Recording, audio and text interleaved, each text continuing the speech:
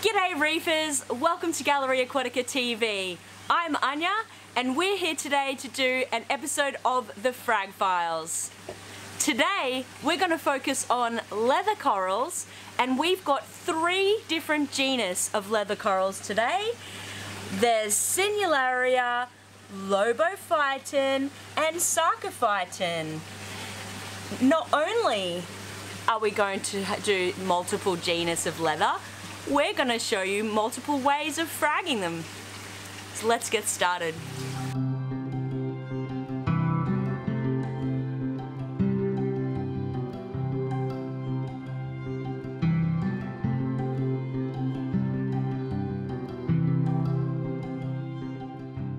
So fragging leather corals is pretty easy. The most important tool we're going to use today is a nice pair of stainless steel scissors. However, there are multiple different options you have when it comes to mounting these leather corals. So we're going to cover quite a few of them today. I'll show you some of the stuff we've got ready for that. So we've got some real reef rock rubble. We had to use a hammer to get that ready. We've got our coral snips just in case, some pre-soaked frag plugs with the stems, some larger pieces of rubble, we've got rubber bands and toothpicks, our custom-made Ricordea hospitals and Morph hospitals, we've got some plastic trays, pre-prepared with the smaller pieces of rubble. We've got glue on hand, reef dip, also got a floater here which we've just made out of a colander with some rubble just to show you some options. And also though we won't be using them today just wanted to point out you could use something like onion bag, zip ties fishing line, or even some filter bags to do a very similar process that we're going to cover today. So we've got everything ready to go for our first coral that we're going to cut, which is the Sarcophyton. But first, let's prepare the dip. Today, we've chosen to use Reef Dip from Seachem. It's an iodine-based dip, which is actually made as a tincture I put 5 mil into 2 litres there. Now, the iodine does actually exhaust over time, so if you find the water going clear as you continue to use it, you can always start again, add more, or leave it as it is. We've got our bath bucket here, ready to go, and let's start with the first Sarcophyton. Now, Sarcophyton are actually called toadstool corals. We've got two here, and they've shrunk considerably since they were in the aquarium last night. And you can see why they're called toadstool corals because they have that amazing shape that is similar to a mushroom. And this cap part is actually called the capitulum. And the best way to frag these is to get your scissors and actually cut a rim of the tissue all the way around, leaving the stalk on the rock to heal and regrow. So I'll just move this out of the way.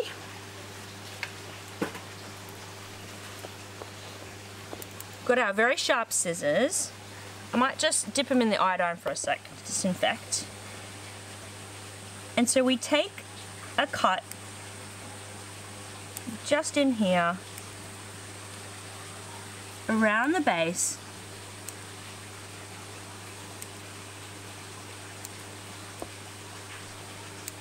Now some of the time you'll be fragging leather corals will be actually underwater in the aquarium. I really wanted to talk about the toxin that's released from leather corals because it's actually used in chemical warfare to prevent other corals around growing nearby. It's important for this reason to always use carbon in your tank or you can use resins such as ChemiPure Blue to help uptake this toxin. So my main goal with the Sarcophyton, you can see how easy this is, I'm just making these little flat pieces into squares. This is actually a long polyp leather, which is very attractive. For the purpose of making a couple extra frags, I'll just make some of these a bit smaller.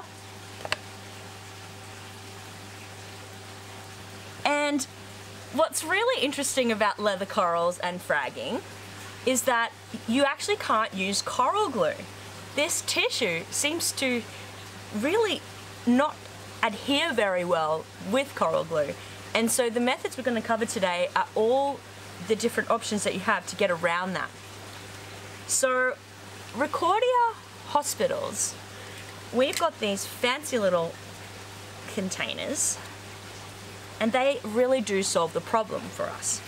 We've got the tile that fits right in, a hole to pop it out once it's attached, and a see-through little viewing window.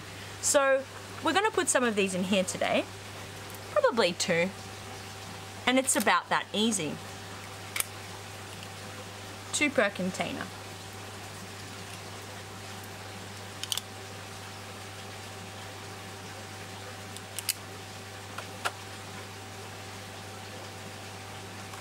If you had larger pieces, that's where this size would be more appropriate. Once the coral has adhered, which could take, you know, one or two weeks, you can easily just pop that off, pop the frag plug out, and then cut the tile, and you've got two beautiful pieces of sarcophyton. Safe and secure. We're on to the second sarcophyton leather here now. So I'm going to repeat the method of cutting around the edge of the capitulum. And these pieces we're going to pop into our basket of rubble, which is going to be weighted down, and we're just going to put it in our frag system um, in a low flow zone. Though they do appreciate the flow. Um, and you know, within a, a week or two, what we should see is a whole bunch of these beautiful new little corals. You can use shells or frag plugs, but we like to use the rubble because the rough surfaces really assist with the new coral making an attachment point. And so our last step is of course to use the iodine based dip. Not only will this remove parasites, but the iodine actually assists with soft corals in healing. So with this tray, it's a lot larger. We can't fit it in our bucket. So I'm just going to use a pipette to pour the dip over the top. And I'll do the same with seawater just to ensure that we've washed it off before I place it here ready to be put in our system. So next up, we have the Lobophyton leather coral. And this is often called a devil's hand. And you can certainly see why. You can see the resemblance, right? Though I'm not, certainly not the devil. But, we'll put that in the water. And I'll start here. And I, with the Lobophyton, I like to just cut these fingers. It does make it a little bit more interesting and easier to mount. So again, we're taking the cuts and you just make sure you take a real clean cut. Don't be doing hacking or sort of multiple snips. Just take one nice clean cut. We've got some good size on these ones at the moment. That should do.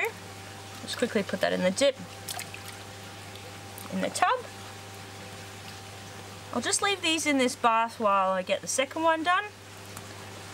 And so these are two different colors and they actually have different length of polyps, which is why I was really keen to do multiple individuals. You can see that slime coming off. And you know, these allelotoxins, as they're called, they're not just functioning in coral warfare.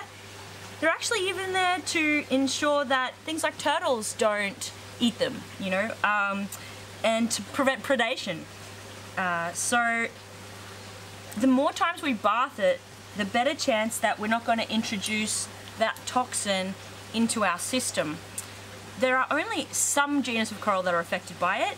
Um, scleractinians tend to be one of those, so you have to be super careful with your carbon uh, and replacing those kinds of medias if you're fragging your leather coral inside your tank. So, that's that. We have these toothpicks. Now they've been soaking here.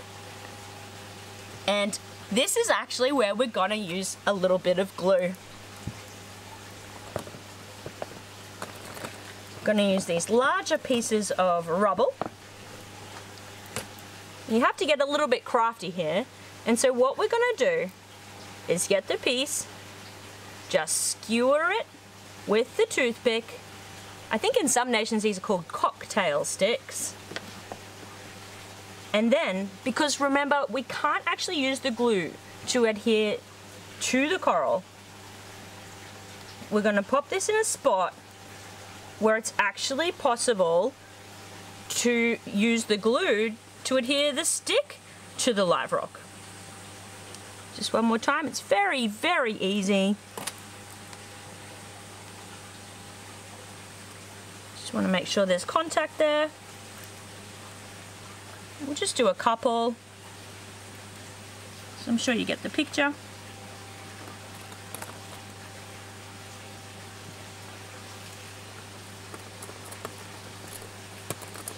Hmm.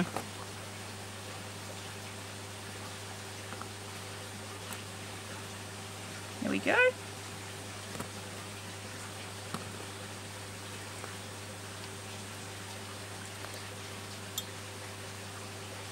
Gee, that's really quite sticky.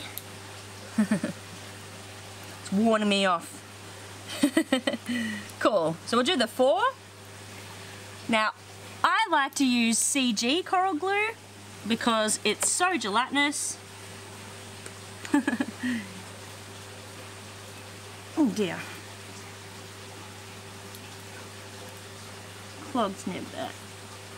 And so I'm just putting a little dollop of the coral glue on the edges of the toothpick to help hold it down.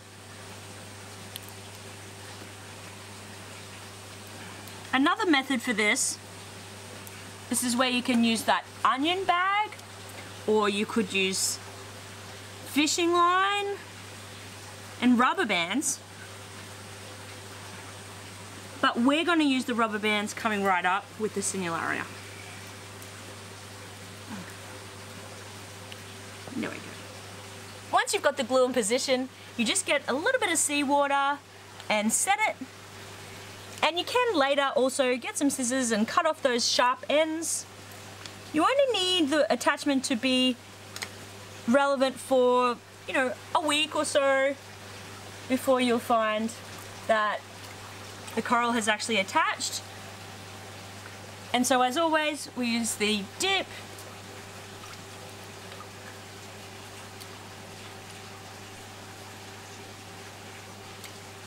and they're ready to go. The other pieces of lobophyton we're going to actually put into this floating basket. And like I mentioned earlier, you can use a range of different colanders. Today we're going to use this one. The rubble is pre-soaked, so it's very easy. Very, very easy. I might actually just use my hands to dip that one. And I'm going to place the sarcophyton around the rubble Maybe later I'll cut a couple more to make it take advantage of the space. use the pipette to pop over the coral dip. Give it a good wash and pop it into our system to float around. The next one we're going to cut is the Sinularia. Now, Sinularia, it, this actually expands to be quite a large piece of coral, but as all soft corals, they're kind of like a tissue balloon. And so this one has shrunk considerably, which will make it just that little bit more challenging to cut. Um, you know, so I'm just going to cut, take clean cuts of these branching finger-like extensions. Identify those. And again, we've got two colors. This one is more of a purple Sinularia with a hint of green. And the second one is a toxic green. A really nice contrast for people that are doing a soft coral aquarium. I love Sinularia because it's like you get that effect of having a branching coral without that necessity of calcium carbonate magnesium monitoring and dosing. And so it's a they're often used as a, a really good entrance level coral although I'll just pop these here in the water while we get the other color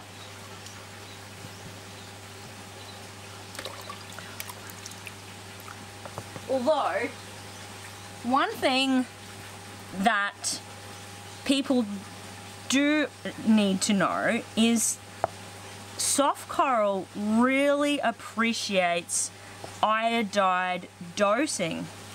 Now, it's, a, it's an element that they tend to uptake very rapidly in an aquarium setting and it's a little bit confusing because of the different forms of the element iodine, but just take a few more cuts there, maybe that there. But I just briefly really wanted to touch on the difference between iodine, which is an antibacterial dip. I try and think of like betadine, INE, and iodide. This is the non-toxic form.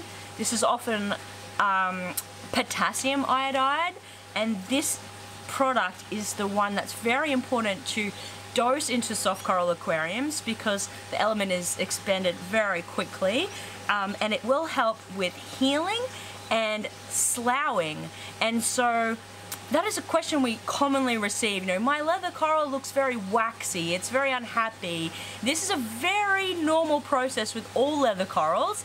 It occurs even weekly. It's dependent on um, sediment that falls and to prevent algae growing on it.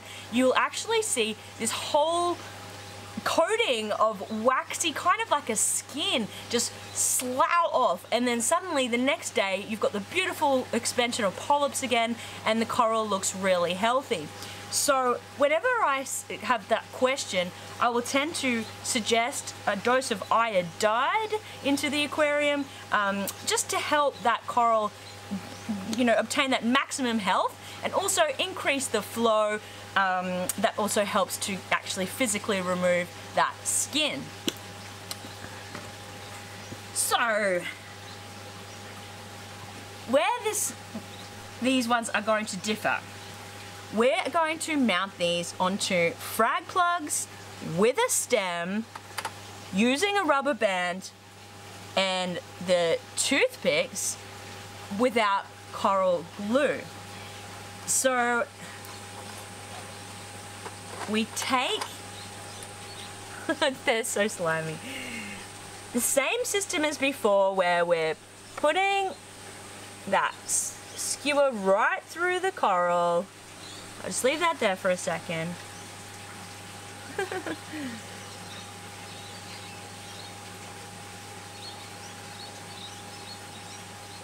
it's really fascinating how these different methods all contribute to us being able to share more aquacultured corals with our friends. Oi oi. They've shrunk so much.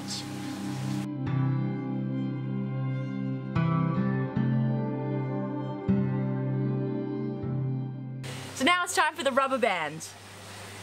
So this can get a little fiddly, but it's totally worthwhile. So you loop the rubber band once around the edge of the stick. Oh. Once around the base of the frag plug.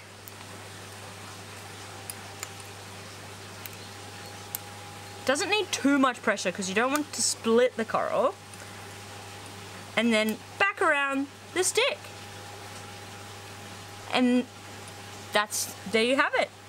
A frag plug, uh, Sinularia frag without glue. Just gonna put it in the iodine dip, in the bath, and on to the next one.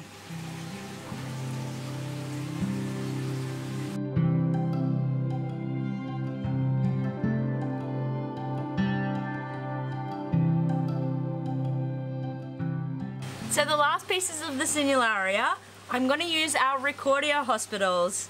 Now we say Ricordea because of the larger size compared to the morphs. And if they hadn't shrunk down so much, I probably wouldn't have to use this system, but I really like to use these. So it's certainly gonna make it really easy. And then at a later date, we'll just pop out the tile and frag them. So thanks for joining me today as we showed you a whole range of methods to frag leather corals. I'm Ania, thanks for watching Gallery Aquatica TV and happy reefing!